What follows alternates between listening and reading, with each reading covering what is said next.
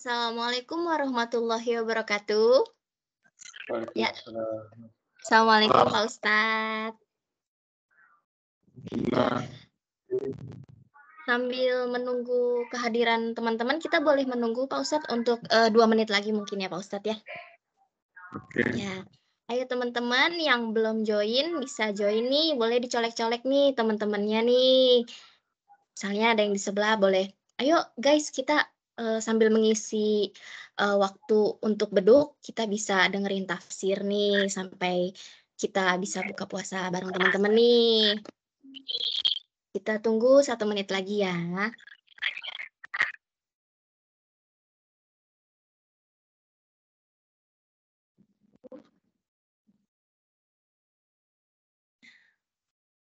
Nah, cek dulu nih ya teman-teman di sini yang sudah bergabung. Sudah berapa banyak ya kira-kira ya? Cek dulu nih. Gimana teman-teman panitia? Mau kita langsung mulai atau kita masih mau tunggu dulu teman-teman panitia? Hmm.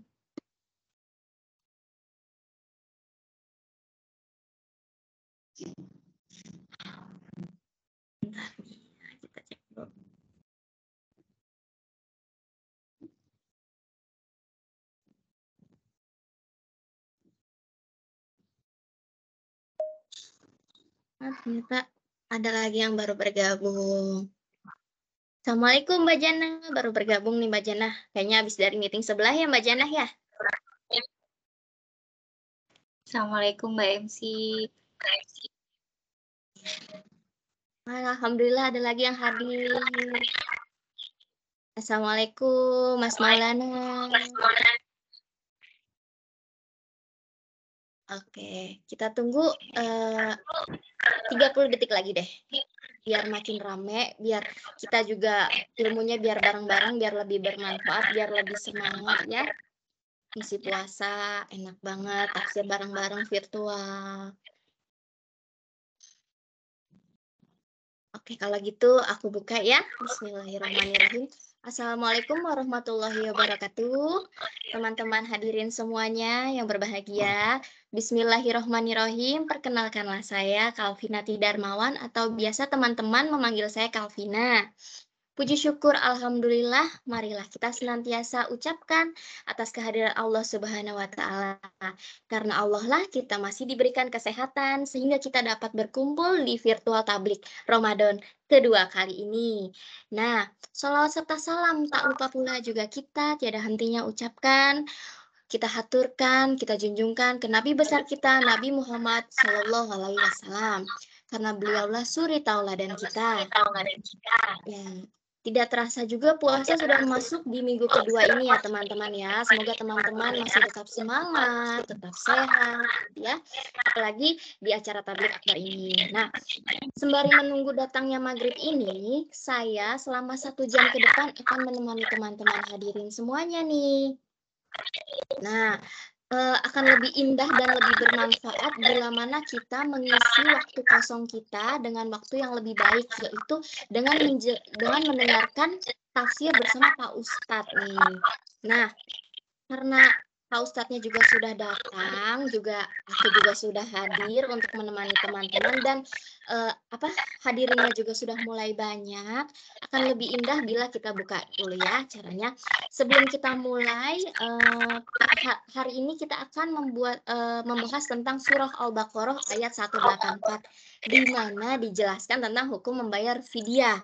Cuma untuk lebih jelasnya, kita sudah mendatangkan bintang tamu istimewa kita yaitu Pak Ustadz Darwis Abu, di mana beliau akan membantu kita dalam menafsirkan surat Al-Baqarah dengan lebih detail. Untuk itu tidak usah berlama-lama lagi, aku akan panggilkan Mas Syahrul untuk membacakan ayat sucinya. Boleh Mas Syahrul? Assalamualaikum Mas Syahrul. Waalaikumsalam. Ya, nah, Mas Syahrul boleh dibuka Mas Syahrul untuk pembacaan ayat Al-Qur'annya Mas Syahrul.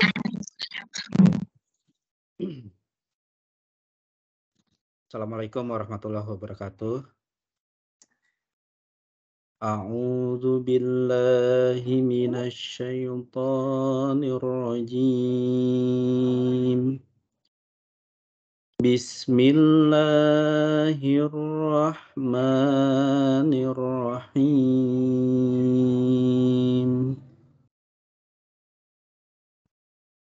يا أيها الذين آمنوا كتب عليكم الصيام.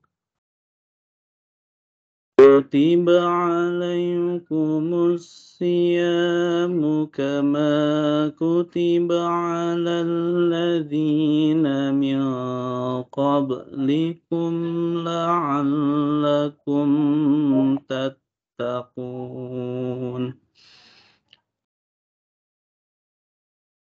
أياما معدودات فمن كان منكم مريضا أو على سفر فعدة من أيام أخر. وعلى الذين وعلى الذين يطيقونه فدية طعام مسكين. فمن تطوع خيرا فهو خير له. وأن تصوموا خير لكم إن كنتم تعلمون Artinya, wahai orang-orang yang beriman, diwajibkan atas kamu berpuasa sebagaimana diwajibkan atas orang sebelum kamu agar kamu bertakwa. Yaitu beberapa hari tertentu maka barang siapa di antara kamu sakit atau dalam perjalanan lalu tidak berpuasa, maka wajib mengganti sebanyak hari yang uh, dia tidak berpuasa itu pada hari-hari yang lain. Demikian Sadaqallahul Azim. Maha benar Allah dengan segala firman-Nya. Baiklah Mas Syahrul, terima kasih. Alhamdulillah Mas Syahrul sudah dibuka dengan ayat suci juga. Nah teman-teman, Mas Syahrul tadi sudah membacakan ayat suci tentang surat Al-Baqarah ayat 184 di mana dijelaskan yang sudah dikatakan oleh Mas Syahrul tentang berpuasa dan hukum fidyahnya. Dan barang siapa yang uh, apa namanya berhalangan berpuasa itu gimana sih hukumnya? Untuk lebih jelasnya, yuk kita panggil aja Pak Ustadznya. Assalamualaikum Pak Ustadz Abu da Pak Ustadz Darwis Abu Ubaidah. Betul Pak Ustadz? Assalamualaikum Pak Ustadz. Pak Ustadz mohon maaf suaranya belum terdengar Pak Ustadz.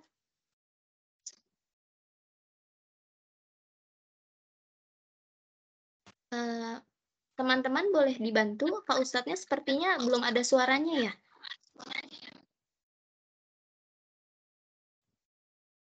Sebentar ini coba ya. Aku coba cek. Belum terdengar ya.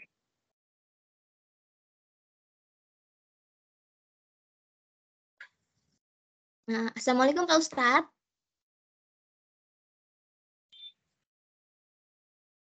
Sepertinya suara Pak Ustadznya belum terdengar. Ah, kalau gini bagaimana? Ah, Halo. Oke, sudah. Ya. Pak Ustadz, oke, udah terdengar Pak Ustadz. Ya, jadi nggak pakai headset ya udah langsung aja ya. Oke, Pak Ustadz. Oke, kalau gitu. Pak Ustadz, Alhamdulillah Pak Ustadz hari ini sehat dan semangat ya Pak Ustadz ya. Alhamdulillah, Alhamdulillah. Alhamdulillah Pak Ustadz juga lagi berpuasa dan teman-teman semua juga lagi sedang berpuasa dan berpuasa. Untuk itu Pak Ustadz boleh dibantu nih Pak Ustadz. Teman-teman di sini mau mendengarkan tentang tafsir surah Al-Baqarah ayat 184. Pak Ustadz pasti akan lebih uh, jago lah ya, lebih jago uh, ya. lebih luar biasa untuk menjelaskan kepada kita biar kita lebih memahami secara mudah tentang surah Al-Baqarah itu sendiri. Baiklah Pak Ustadz, aku serahkan ya ke Pak Ustadz ya. Pak Ustadz boleh? Baik. Assalamualaikum warahmatullahi wabarakatuh. Alhamdulillah wassalatu wassalamu ala Rasulillah wa ala alihi wa sahbihi wa mawala. La haula wa la quwata illa billah ma ba'du. Para ikhwan dan akhwat, eh, para sahabat sekalian yang dirahmati Allah Subhanahu wa taala. Alhamdulillah kita bersyukur kepada Allah atas segala limpahan rahmat serta berbagai karunia-Nya kepada kita semua. Pada hari ini kita masih merasakan betapa besarnya karunia tersebut. Salah satu yang terasa itu adalah Allah masih memberikan kita kesempatan untuk bertemu di bulan Ramadan yang agung ini. Dan pada hari ini kita uh, sebagian sebagian kita sudah berada pada 12 hari Ramadan, bahkan sebagian yang lain sudah memasuki hari yang ke-13. Ya, bagi yang berpuasa pada hari Sabtu. Ala kulihal, bagaimanapun kita berharap Eh, perbedaan seperti itu tidak masalah, tidak akan mengurangi nilai-nilai ibadah kita, insya Allah. Baik, eh, para sahabat eh, astrografia ya, yang dirahmati Allah Taala, ketika kita bicara tentang ayat-ayat yang berkaitan dengan masalah Ramadan itu sebenarnya panjang. Ya, mulai dari 183 ya ayyuhalladzina amanu yang dibacakan tadi sampai 187. Itu sebenarnya. Jadi panjang sekali. Ya, uh, tapi bagi kita adalah bukan hanya sekedar mengetahui tentunya uh, nomor dan jumlah ayatnya, tetapi lebih dari itu bagaimana kita bisa memahami kaedah-kaedah pokok di dalam pensyariatan atau diwajibkannya puasa Ramadan itu. Misalnya 183 menyebutkan Allah berfirman, Ya yuhaladina amanu, hai orang-orang beriman, kutiba alaikumusiyam telah diwajibkan kepada kamu berpuasa.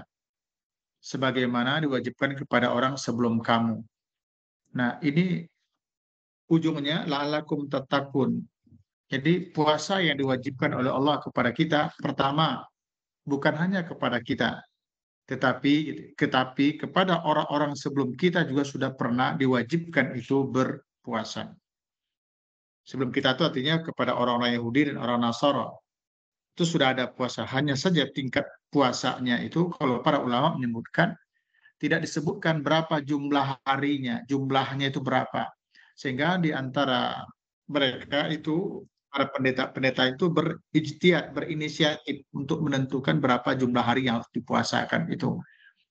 Berbeda dengan uh, umat Muhammad ini, ketika disebutkan berpuasa di bulan Ramadan, itu pada ayat 143, ya, ayat ma'dudat, yaitu pada hari-hari yang telah ditentukan. Berapa hari kah itu? Nah, Nabi menyebutkan beberapa hari itu adalah satu bulan. Satu bulan itu Nabi tidak menyebutkan dengan angka secara apa ya, tapi langsung pakai pakai tangan Nabi menyentuhkan. Asyaru hakaza. Satu bulan itu seperti ini. Jadi kata Nabi, satu bulan itu gini, gini, kemudian gitu. Ah, itu dipahami 30. Wataratan kadang-kadang kata Nabi, satu bulan itu begini, begini, dan begini gitu. Berarti 29. Oleh karena itulah di dalam uh, bulan Hijriah atau bulan Islam tidak mengenal angka 28 seperti di Februari. Dan tidak ada pula jumlah bulan uh, hari di satu bulan kita itu 31. Jadi bulan di dalam syariat Islam ini berkisar antara 29 dengan 30 hari. Itu yang pertama.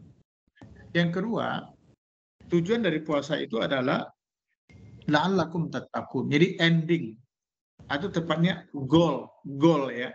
Tujuan pokok dari ibadah puasa yang disediakan kepada kita itu adalah la'allakum tattaqun. Mudah-mudahan kamu bertakwa. Uh, para uh, keluarga besar di dalam kajian ini perlu saya sampaikan sebenarnya bukan hanya ibadah puasa yang disediakan agar kita bertakwa, intinya seluruh amal ibadah jika kita lakukan maka tujuannya adalah untuk bertakwa. Gitu. Hanya saja di kita yang paling populer memang adalah masalah puasa. Oke. Kemudian eh, pada ayat berikutnya itu Allah bercerita. Ini secara global aja ini ya pada semuanya. Secara global saya mau jelaskan. Kemudian disebutkan pula pada ayat 185 itu ya 184 kan bercerita tentang berapa hari. Lalu ada kaedahnya. Di situ ada dua. Barang siapa yang dalam keadaan sakit atau musafir, pamankan amin kumari gitu, au ala safarin. Barang siapa yang sakit atau musafir, fa'iddatun, ganti pada hari yang lain. Maksudnya sakit yang tidak memungkinkan untuk berpuasa. Dia boleh berbuka. Atau musafir yang tidak memungkinkan dia berpuasa. Kalau berpuasa nanti ada kesulitan berkaitan dengan kesehatan dan sebagainya. Maka dia boleh berbuka. Caranya adalah nanti di kodo. Fa'iddatun min ayamin ukhor. Diganti pada hari yang lain. Maksudnya itu di kodo. Diganti sesuai dengan jumlah hari yang ditinggalkan ketika di bulan Ramadan tadi itu. Mungkin tiga hari dia sakit, atau tiga hari dia musafir yang tidak berpuasa, maka dia akan ganti pada bulan-bulan yang lain. Kapan bulan yang lain itu adalah di luar bulan Ramadan, mulai dari tanggal 2 Syawal, tanggal 1 Syawal kan tidak boleh. Ya sebagaimana juga uh, pada tanggal 10 uh, Zulhijjah tidak boleh berpuasa kita. Silakan nanti ganti itu puasa Faidatun min aimul artinya ganti peran lain mulai dari tanggal Syawal nanti kecuali tanggal satunya sampai ya Sya'ban tahun depannya. Jadi ada 11 bulan waktu yang diberikan kesempatan oleh Allah untuk kita mengkodok jika berhalangan disebabkan oleh sakit atau musafir. Yang kedua pada ayat ya 184 itu adalah wa 'alal ladzina yutiqunahu fidyatun ta'am miskin. Dan terhadap orang-orang yang lemah, orang-orang yang tidak memungkinkan dia untuk berpuasa, maka faidatun min uh, fidyatun ta'am miskin maka hendaklah dia bayar fidyah. Ya, hendaklah dia bayar fidyah. Apa yang dimaksud dengan orang-orang yang lemah di sini? Sahabat Nabi yang mulia Ibnu Abbas radhiallahu anhuma menyebutkan pertama termasuk orang-orang yang kategori lemah lalu dia tidak berpuasa sebab kalau berpuasa akan uh, berpengaruh kepada kesehatannya bisa-bisa penyakitnya akan semakin berat dan seterusnya atau membuat dia tidak bisa berbuat apa-apa karena lemah. Itu pertama itu ditujukan oh ini orang-orang yang lemah ya dia tidak wajib kodok tapi dia wajib bayar fidyah Pertama adalah orang-orang yang sudah tua renta, sudah uh, kabir, ya, yaitu orang yang sudah usianya sangat tua. Uh, kita tidak bisa menyebutnya dengan angka karena juga berkaitan dengan kesehatan. Kita pernah ketemu orang, saya pernah ketemu orang yang usianya udah 80, 85 bahkan ketika itu. Tetapi karena kesehatannya nggak ada masalah, baik secara fisik maupun psikis, pikirannya juga tenang, dia tetap berpuasa. Tentu tidak termasuk dalam kategori ini. Ini adalah orang yang sudah tua, bisa jadi usianya baru 65 atau 70, tapi memang udah tua, banyak lagi sakit-sakitnya. Ya.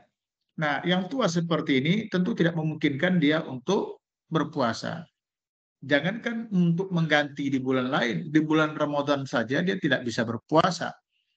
Kepada yang satu ini, yang sudah tua bangka, kalau bahasa kitanya, maka dia boleh tidak berpuasa, nanti dibayar dengan fidyah. Dibayar dengan fidyah. Berapa fidyahnya nanti bagian berikutnya. Itu satu. Yang kedua, yang juga termasuk orang yang lemah yang tidak diwajibkan berpuasa tapi dia boleh berbuka kemudian bayar fidyah yang kedua ini adalah orang yang sakit menahun. Orang yang sakit yang secara umumnya sulit untuk sembuhnya. Orang yang sakit yang memiliki ketergantungan kepada obat dan dia harus minum obat setiap hari.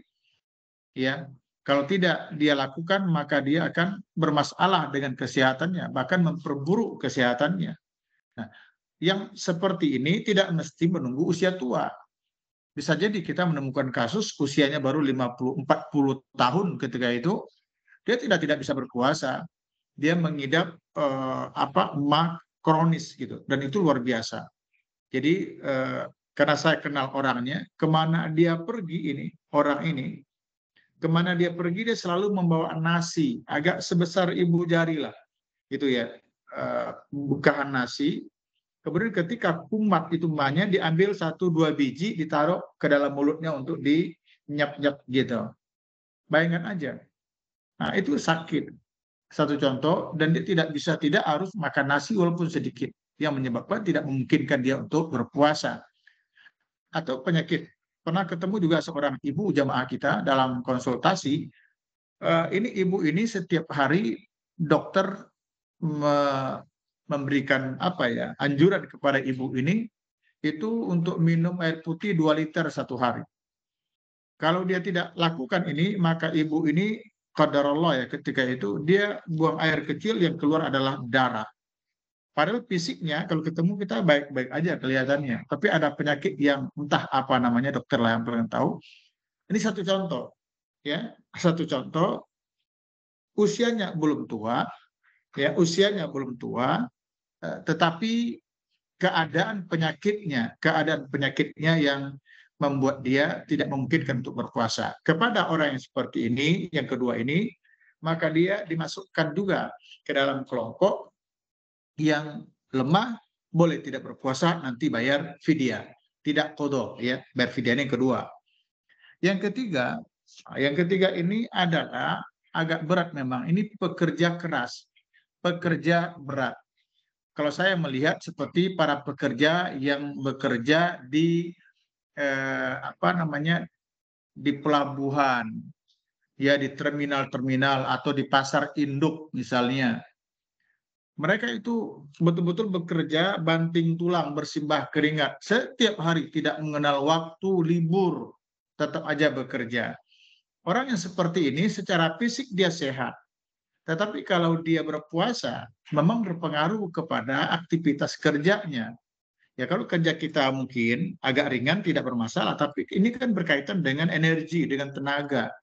Sehingga puasa yang dia lakukan itu menyebabkan kerjanya lemah, karena yang diangkat tuh cukup berat, ya banyak dari pagi sampai sore, tidak memungkinkan dia untuk berpuasa. Lalu apakah tidak dikodok? Pertanyaannya kapan waktu dia mengkodok? Ya, kapan waktu dia mengkodok? Untuk bulan Ramadan saja ya Ramadan saja dia itu harus bekerja. Kalau tidak bekerja, iya resikonya rumah tangganya, periuknya, kompornya mungkin nggak nggak hidup gitu. Karena memang sangat ketergantungan kepada pekerjaan itu. Oleh karena itu, ijtihad saya dalam batas-batas yang sampai seperti ini, dia tidak memungkinkan untuk berpuasa di bulan Ramadan, di luar Ramadan pun juga dia tidak punya waktu untuk berpuasa, terus terang menurut emak saya, karena prinsip agama ini adalah memberikan kemudahan, maka saya berkeyakinan bahwa tipe yang ketiga ini, dia tidak berpuasa, nanti juga tidak wajib kodok karena tidak ada waktu untuk mengkodoknya. Yang wajib bagi dia adalah bayar fidyah. Bayar fidyah. Ya, Nah, berapa videonya nanti? Itu yang ketiga. Yang keempat yang termasuk ke dalam kelompok wa alal ladzina yutiqunahu kepada orang yang lemah untuk berpuasa itu yang keempat adalah yakni alhamlu wal murdi' yaitu seorang ibu yang hamil atau ibu yang sedang menyusui anaknya dalam uh, waktu menyusui anaknya. Eh, para sahabat sekalian, ini perlu kita agak berhati-hati menyampaikan ini karena berhadapan dengan ikhtilaful ulama, perbedaan para ulama di dalam menyikapi ini. Ikhwah, para sahabat sekalian, para ulama sepakat berdasarkan hadis Nabi bahwa wanita yang hamil dan wanita yang sedang menyusui anaknya itu diperbolehkan untuk tidak berpuasa. Ulama sepakat. Ya. Wanita yang hamil, hamil tua, hamil muda, hamil kecil, nggak ada masalah. Dan ibu yang sedang menyusui anaknya, masih dalam usia penyusuan anaknya, ulama sepakat boleh untuk berbuka alias tidak berpuasa. Tetapi ulama berbeda pendapat apa yang harus dilakukan oleh ibu nanti setelah selesai Ramadan. Apakah dia mengkodok, artinya puasa diganti dengan puasa, atau dia bayar fidyah, yakni puasa diganti dengan memberi makan orang miskin. Nah, ulama berbeda pendapat di sini. Kenapa? Perlu saya sampaikan, karena yang disebutkan di dalam hadis secara terang itu adalah bahwa Allah membebaskan puasa. Innallaha wada'a ya nisfu salat anis safar Allah membebaskan separuh sholat bagi orang yang safar, maksudnya boleh di boleh di kosar dan Allah membebaskan as-sauma puasa anil hubli wal murdi' terhadap wanita yang hamil dan yang menyusui. Itu yang ada. Makanya ulama sepakat boleh mereka ini tidak berpuasa, tetapi bagaimana cara menggantinya? Tidak ditemukan hadis-hadis Nabi yang menjelaskannya. Karena itulah para ulama berbeda pendapat terhadap wanita hamil dan menyusui ini. Misalnya di kalau kita tengok di dalam kitab-kitab uh, ada tiga pendapat ini. Ini kajian fikih yang perlu teman-teman para sahabat perhatikan ya. Untuk wanita hamil dan menyusui ini ada tiga pendapat di kalangan ulama. Pertama, wajib kodo dan fidyah. Kodo juga, fidyah juga. Yang kedua, hanya kodo saja. Dan yang ketiga, fidyah saja. Saya urai, siapa itu yang mewajibkan kodo dan fidyah? Banyak sahabat-sahabat, di antaranya adalah Imam Syafi'i sendiri menyebutkan begini, manakala ibu yang hamil ini atau ibu yang menyusui ini secara fisik dia kuat. Artinya kalau ibu yang hamil ini dia berpuasa nggak ada masalah. Dia kuat untuk berpuasa. Atau ibu yang menyusui anak ini juga kalau dia berpuasa secara fisik tidak ada masalah. Tidak ada gangguan bagi dirinya. Hanya dia khawatir kalau saya puasa, saya khawatir kalau anak yang janin di dalam kandungan saya ini nanti bermasalah atau saya khawatir kalau saya berpuasa, anak yang saya susui ini nanti sakit. Misalnya suhu badannya panas atau dia mencret. Ada aja, bisa aja itu terjadi. Tetapi secara fisik, ini dulu pendapat pertama secara fisik, ibu ini sehat. Ibu ini sehat, memungkinkan untuk berpuasa baik eh, hamil maupun yang menyusui. Nah, dia tidak berpuasanya karena khawatiran terhadap janin atau anak disusukan. Untuk pendapat yang untuk keadaan yang seperti ini, menurut mazhab Syafi'i itu wajib qadha dan juga fidyah. Qadha jadi kalau satu bulan ditinggalkan maka dia harus ganti nanti satu bulan setelah Ramadan. Pasca Ramadan dia harus lakukan. Tapi juga dia bayar fidyah sebanyak hari yang ditinggalkan. Apakah itu 29 hari atau eh, 30 hari satu bulan Ramadan yang bersangkutan itu. Jadi wajib kodo dan fidyah. Itu pendapat yang pertama. Pendapat yang kedua, ya kodo saja. Termasuk ini pendapatnya pendapat Ibnu Abbas juga di kalangan sahabat Nabi. Bagaimana itu kodo saja?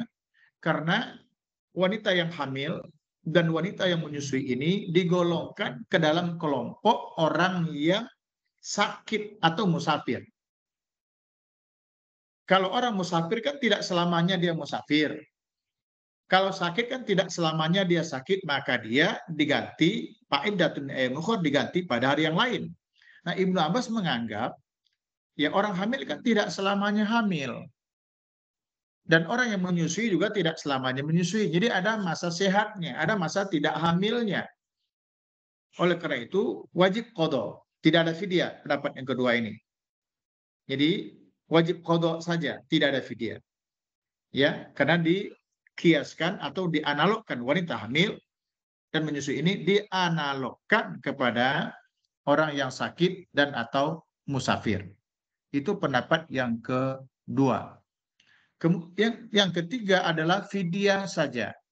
Nah, fidyah saja ini adalah pendapat umumnya para ulama untuk wanita hamil dan menyusui, ya udah kalau memang tidak memungkinkan untuk berpuasa, ya sudah berbuka saja, nanti bayar fidyah. Ikhwah hadirin eh, para sahabat sekalian yang saya hormati, di antara tiga pendapat ini eh, saya cenderung pendapat yang pertama. Ya, eh, maaf, cenderung pendapat yang kedua. Untuk yang hamil dan menyusui itu adalah bayar kodok. Namun jika usaha kodo dilakukan tidak bisa juga, ya misalnya bisa jadi setelah uh, misalnya sekarang begini nih, uh, Ramadan ini dia baru hamil satu bulan, hitung aja nanti ke depan. Nah Ramadan ini baru hamil hamil muda ini, kita hitung aja Ramadan, Syawal, Dzulqa'dah, Dzulhijjah, Muharram, Safar, bil awal, Rabiul akhir, Jumadil awal, Jumadil akhir, Jumadil akhir dia baru melahirkan. Ya, Kemudian Rajab, Sa'ban, dua bulan masa setelah melahirkan tinggal waktu dua bulan ini menjelang Ramadan berikutnya. Tentu tidak memungkinkan untuk untuk berpuasa. Untuk yang seperti ini ya sudah bayar fidyah. Bayar fidyah. Tentu akan lain kisahnya kalau sekarang ini sudah hamil tua. Ya, nanti bulan Syawal dia melahirkan. Nah, kita lanjut. Ada lagi Zulqa'dah, Zulhijjah, Muharram, Safar, bin Awal. Rabiul Akhir. Taruhlah enam bulan ini masa masa penyusuan yang eksklusif itu. Ya kan? Jadi uh, Syawal, Zulqa'dah, Zulhijjah, Muharram, Safar, bin Awal. Rabiul Akhir, Jumadil Awal, Jumadil Akhir, Rajab, Syakban. Masih ada lima bulan setelah dia menyusui yang eksklusif untuk anak ini yang selama enam bulan itu masih ada lima bulan. Mungkin masih memungkinkan, masih memungkinkan dia untuk mengkodok puasa itu. Misalnya si ibu ini masih ada 25 atau 6 bulan lagi menjelang berikutnya. Dia berpuasa dengan benar, dia bersahur dengan benar sebagaimana puasa Ramadan. Insya Allah, asi, asi yang dibutuhkan oleh anak itu tidak akan terganggu, insya Allah. Tetapi mohon maaf, memang ada kecenderungan sebagian ibu-ibu ini kalau tukang kodok puasa dia nggak mau sahur males bangun sahurnya itu males akhirnya apa berdampak kepada kebutuhan asi yang memang sangat diharapkan oleh uh, bayi. Alhamdulillah begini, jika pendapat kedua ini mungkin kodok lakukan kodok dulu, usahakan kodok. Sedangkan dia adalah alternatif terakhir. Setelah jalan kodok, itu tidak bisa juga, ya udah lakukan video. Bisa jadi yang satu bulan sudah terpodok mungkin sepuluh hari, dua puluh harinya udah nggak keluar masuk ke Ramadan berikutnya, ya udah bayar dengan video, video bagi bayar. Atau mungkin saja utang itu sudah terganti 15 hari atau 20 hari, sisa 10 hari nggak keluar karena Ramadan sudah ya udah yang setelahnya diganti dengan video. Insya Allah ini adalah pendapat yang kuat yang pernah saya ketahui selama ini. Itu adalah tanggungan di dalam uh, ayat 184 yang berkaitan dengan uh, orang-orang yang tidak untuk kena sakit dan far wajib kodok atau tidak mampu orang-orang yang lemah disebutkan tadi ada golongan atau kelompok manusia. Kemudian uh, yang perlu kita pahami bersama hmm, dari ayat ini adalah Faman tahu akhiran fahu akhirlah. Nah, di situ ada namanya ibadah tatawwu. Ibadah tatawwu itu adalah ibadah sunnah di luar puasa Ramadan pada siang harinya. Bisa bermakna sholat lain yaitu sholat tarawih, bisa juga uh, infak sedekah, tilawah Quran, dan banyak lagi ibadah sunnah yang dapat dilakukan di bulan uh, Ramadan ini. Yang tentunya diharapkan pahala dari Allah taala. Itu secara singkat. Kemudian saya lanjutkan ayat 185. Ayat 185 bercerita tentang Quran. Bulan Ramadan adalah bulan yang diturunkan Al-Quran. Selain nama menyebutkan bulan Quran, bulan Ramadan itu nama lainnya adalah bulan Quran, Syahrul Quran. Kenapa dikatakan bulan Ramadan sebagai bulan Quran? Paling tidak ada dua alasan. Pertama, karena memang di bulan Ramadan itulah Al-Quran diturunkan. Ulama sepakat bahwa Ramadan Quran untuk pertama kan surat Al-Alaq itu turun di Wahera itu terjadi pada bulan Ramadan. tanggalnya ulama berbeda tanggal dari 15 atau 17 19 tapi insya Allah pendapat yang kuat di kalangan para ulama yang berbeda itu adalah bahwa Al-Quran turun pada tanggal 17 Ramadan. Jadi di bulan Ramadan itu juga Jibril datang setiap malam menemui Nabi untuk mereview ulang murajaah ayat-ayat yang telah turunkan kepada baginda Rasul Sallallahu Alaihi Wasallam. Itulah alasan pertama. Yang kedua, Kenapa dikatakan bulan Ramadan sebagai bulan Al-Quran? Karena ikhwah uh, sahabat sekalian, di bulan Ramadan inilah kaum muslimin yang paling banyak berinteraksi dengan Al-Quran. Jangankan orang-orang yang sudah biasa baca Quran, orang yang jarang baca Quran saja di luar bulan Ramadan, ketika Ramadan masuk ini bergerak hatinya untuk membaca Quran. Tapi kalau bagi orang yang sudah terbiasa baca Quran, masuk Ramadan itu justru ada peningkatan-peningkatan. Mungkin sebagian sahabat pernah mendengar ada istilahnya program ODOJ, ODOJ, ODOJ, ya, eh, yang dipahami adalah singkatan dari One Day One Juice. Itu dulu ada kelompok-kelompok bisa lima orang, kelompok ada tujuh sampai sepuluh orang satu kelompok. Itu kita punya target. Masing-masing kita satu hari itu khotam satu juz ya selesai satu juz. Jadi bisa jadi misalnya eh, hari ini eh, saya khatam satu juz. Tetapi karena kesibukan saya baru dua halaman, masih sisa banyak. Ah, besok aja lah, nggak boleh. Besok lain lagi juznya. Jadi kita saling menguatkan di kelompok itu, saling menguatkan. Kamu udah belum juz sekian, udah khatam belum jadi. Nah, orang yang sudah terbiasa di luar Ramadan satu juz satu hari, masuk Ramadan itu bagi mereka enteng. Tidak jarang di antara mereka itu punya target. Misalnya targetnya khatam dua kali dalam Ramadan atau tiga kali bahkan ada yang lima kali targetnya di bulan Ramadan itu. So, kalau cuma satu kali, ya orang di luar Ramadan aja dia bisa, apalagi di dalam Ramadan. Jadi ada usaha untuk meningkatkan target mereka. Nah, ini salah satu dua argumen kenapa dikatakan di bulan Ramadan itu sebagai bulan Al-Quran. Karena memang kaum muslim sebegitu pentingnya merasa untuk beribadah, ibadah sunat, ibadah tatawuf, yaitu dengan tilawah Al-Quran. Hadirin, uh, itu dulu saya ingin sedikit menyinggung tentang ibadah sunat bulan itu sholat tarawih. Sholat tarawih Sholat tarawih itu ada di bulan khusus yang hanya ada di bulan Ramadan, tidak ada di bulan lain. Bahkan keutamaannya luar biasa. Nabi bersabda, "Man qama ma'al imani hatta yansrifa kutiba baru yang laila."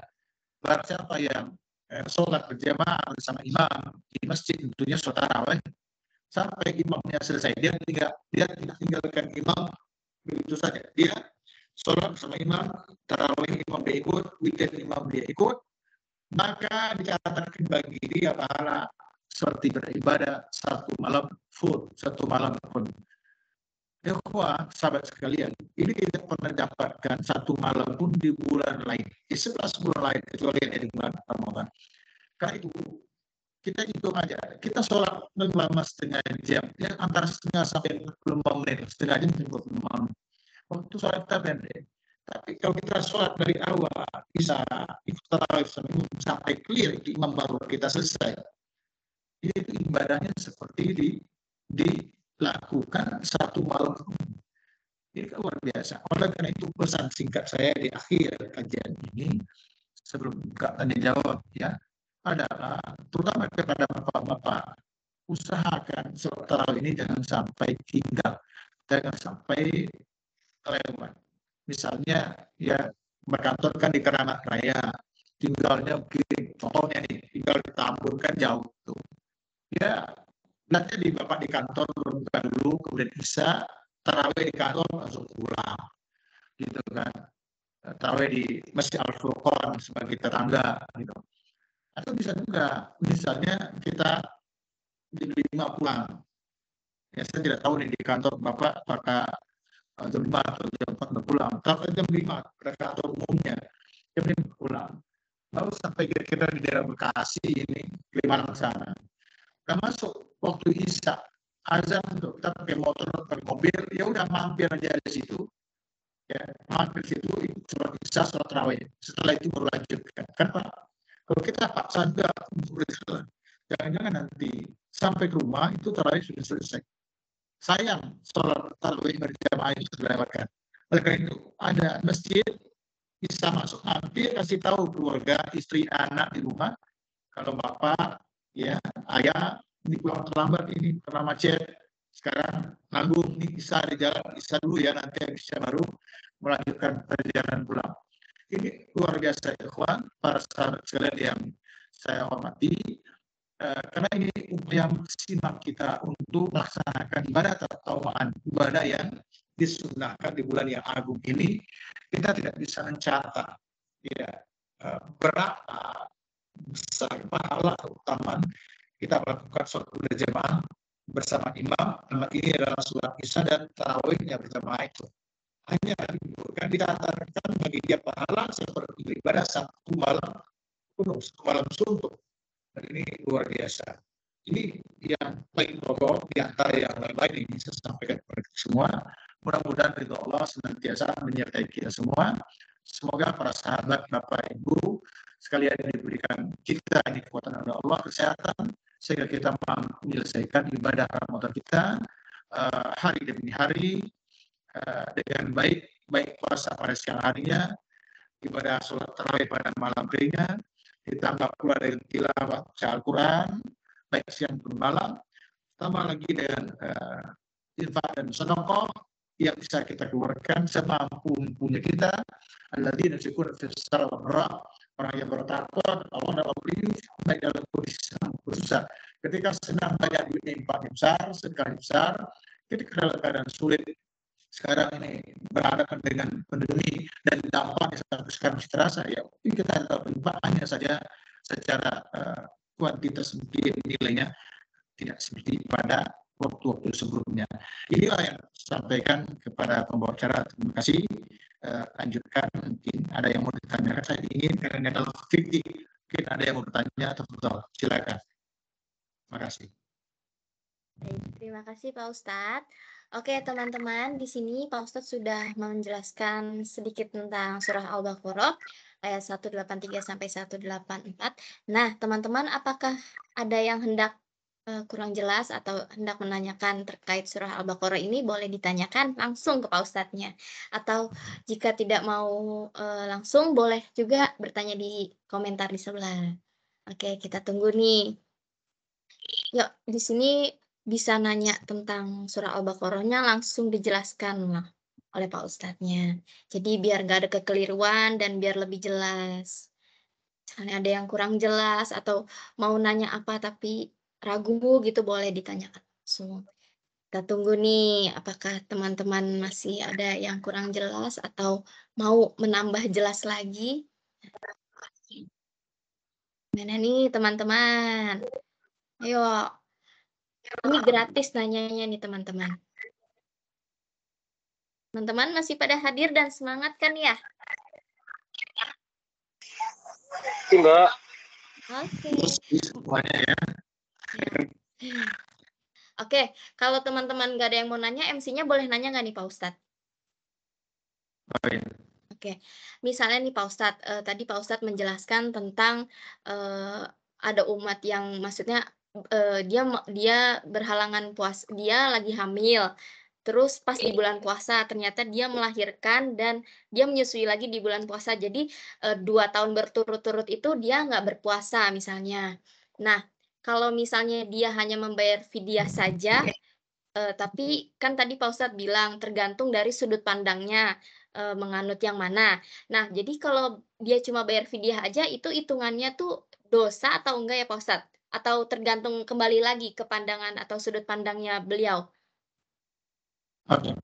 Ini sudut pandang ya, tapi kondisi seperti itu. Jadi baik yang hamil maupun yang menyusui, utama dahulu mengkodok. Ya, artinya puasa diganti dengan puasa. Gitu ya. Tapi, nanti ketika dicoba berpuasa ada masalah dengan kesehatannya atau masalah dengan anak ya yang istilahnya itu eh, bisa jadi badan anak timnas mencerai anak dari yang berdosa. Ya udah, solusinya adalah membayar fidyah. Ya, membayar fidyah. Oh ya, selain mengajar ya. Ini fidyah itu adalah satu hari tidak berpuasa, satu hari tidak berpuasa itu diganti dengan satu fidyah. Fidyah. Nah, apa kisarannya? Kisarannya macam lama-lama berbeda, tapi ada yang menarik. Uh, untuk fidyah itu adalah untuk satu kali makan. Jadi satu hari puasa yang ditinggalkan ya diganti dengan satu kali makan untuk orang miskin. Bukan makan satu hari. Enggak. Oh, Itu misalnya gini, satu hari ini, misalnya teman-teman di fotografi ini berapa ini satu biaya makan kita satu hari berapa? Satu kali makan berapa? Nah, gitu. misalnya 25 ribu sekali makan, 25 ribu sekali makan. Berarti kalau satu hari kan 75 tuh. iya.